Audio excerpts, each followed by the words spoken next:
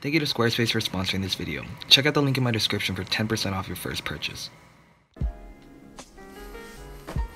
Now, a question I get asked a fair amount is, bro, where are you getting all this dough? Like, where is all this bank coming from?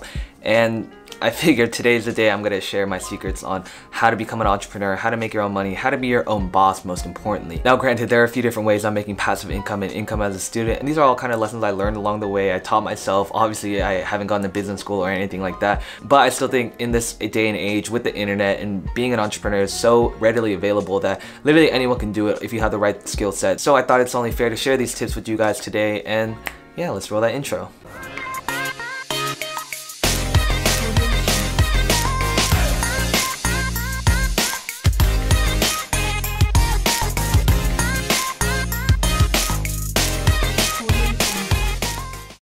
Now, firstly, I think it's very important to define what an entrepreneur is because with Instagram and YouTube and social media, everyone seems to call themselves an entrepreneur and have that title in their little Instagram bio. When in reality, like being an entrepreneur is a lot more than that. It's a lot of hard work, it's hustle, it's how you turn a small idea into a massive income making business. And I think the biggest thing is turning your passion into profit. Obviously, this is the most fun and easiest way that you can start making some side income regardless of whatever your passion is. Now, a big thing I say on the channel is that everyone has something they're passionate about. Everyone has something they're talented about. Whether you found it or not, I truly believe that everyone was brought into this world because there's something unique about them and there's something that they can bring to the table. For me, obviously, you guys know I'm a photographer and filmmaker and I was that before I was an entrepreneur, which was obviously a great background to turn something I was passionate about into something I could actually make money from. I still remember the first day that I was able to book a shoot for like 100 bucks or 150 bucks. I was so hyped. I was like, oh my gosh, how am I making this much money for doing like a two hour shoot when my friends are working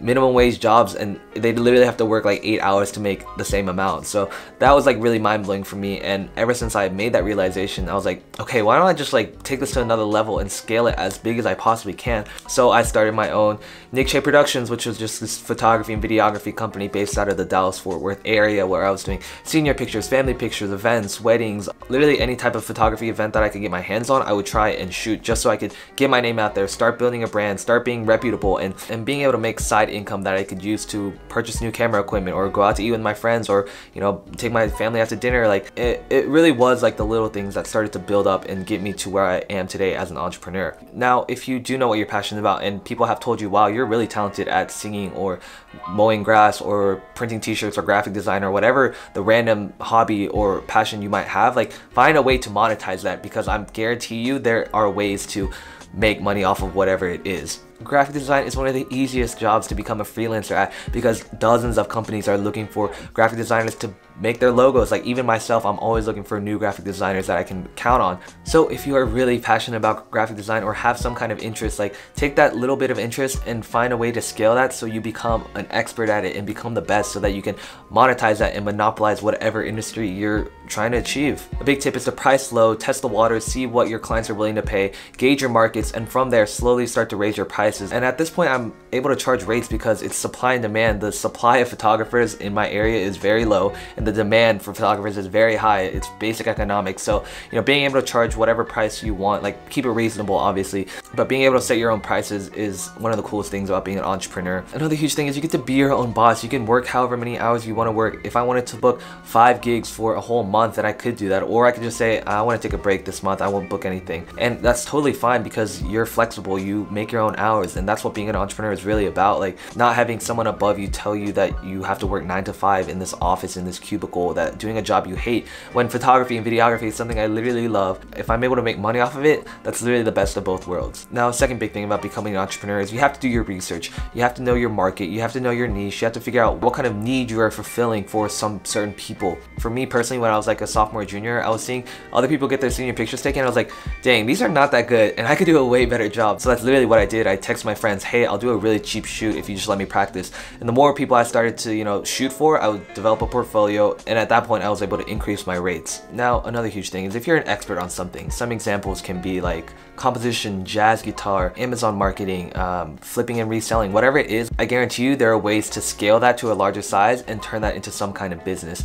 Now, obviously, a lot of you guys watching are students, so I'm not saying you need to make this into the next Facebook or Snapchat, but anything that's a side business and a side hustle that you can have passive income every month or so is better than nothing and I guarantee you it's better than working a minimum wage job. Other examples of products that you can actually sell are tutorials. If you're kind of a genius on graphic design or Python coding or whatever it is, film videos of yourself like going through step by step on how to become an expert like you are, sell that online and I promise you that there will be dozens of people that are interested in that and would need a product like that. Another example of one of my entrepreneurial projects was I'm not saying I'm an expert at college coaching or whatever, but I do know a fair amount since I've been through the whole college admission process and I got into Princeton and, and all these schools or whatever. That kind of gave me a reputable platform and from there I was able to say, okay, let me just make this into an ebook. Like that's super simple. All I have to do is take a few months, write out the whole book, publish it, and design it and sell it. Now, I'm not saying it was a super easy task. There were a lot of things that I had to figure out and overcome on how to really publish an ebook and design it so that it's aesthetic and appealing to as many customers as possible.